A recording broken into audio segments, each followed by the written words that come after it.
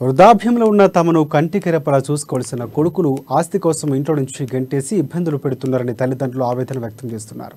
ఖమ్మం జిల్లా సత్తుపల్లి మండలం యాతాల కుంటలో తాటి ముత్యాలు ఆదిలక్ష్మి దంపతులకు ముగ్గురు కుమారులు ఇద్దరు కుమార్తెలు ఉన్నారు. తమకున్న ఎనిమిది ఎకరాల భూమిని పిల్లలకు ఇచ్చి కొంత తమ పేరిట ఉంచారు. అయితే వారి పేరు మీద ఉన్న ఆస్తిని కూడా పంచివ్వాలని కుమారులు గొడవ పెడుతున్నారు.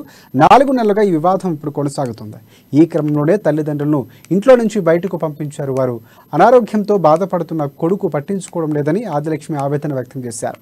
ఇటీవల పోలీసులకు ఫిర్యాదు చేస్తే తమను చేసుకు చూసుకుంటామని చెప్పి ఇప్పుడు ఆస్తి మొత్తం అమ్మేసి ఇవ్వాలని లేదంటే చంపేస్తామంటూ భయపెడుతున్నారంటూ ఆరోపించారు.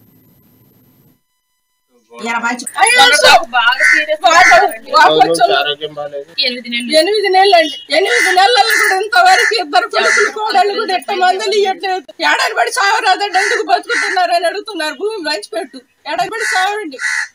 అని మాట్లాడుతారు చిన్న కొడుకు రెండు నెలలు తిప్పిండు. మీరు మామూలు కూలిపనికి వెళ్తారమ్మా ఏం వెళ్ళలేనండి ఏం వెళ్ళలేని.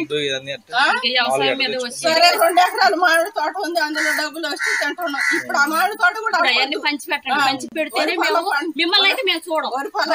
ఒప్పుకుంటాం. అమ్మ ఇప్పుడు ఇవి కోడి భూములా లేకపోతే కోడి భూములు? మూడు ఎకరాలు ఉందండి. కోడి కోడి భూములు నేను ఐదు ఎకరాలు కొన్నా? ఐదు ఎకరాలు కొన్నానండి కొన్నా.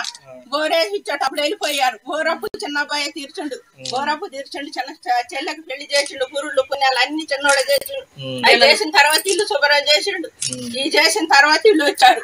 వీళ్ళు బాగా టార్చర్ పెడుతున్నారండి. ఇక అదే మీరు కొంచెం చూసుకుంటారని మీకు చెప్తున్నామండి. ఇంట్లో నుంచి బయలు ఇంట్లో నుంచి ఎల్లగొట్టారండి ఇంట్లో నుంచి ఎల్లగొట్టి బాగా టార్చర్ పెడుతున్నారండి. వాళ్ళు చచ్చిపోవాలని అని అంటున్నారు. ఎనిమిది నెలలు ఎనిమిది నెలలు ఇంతవరకు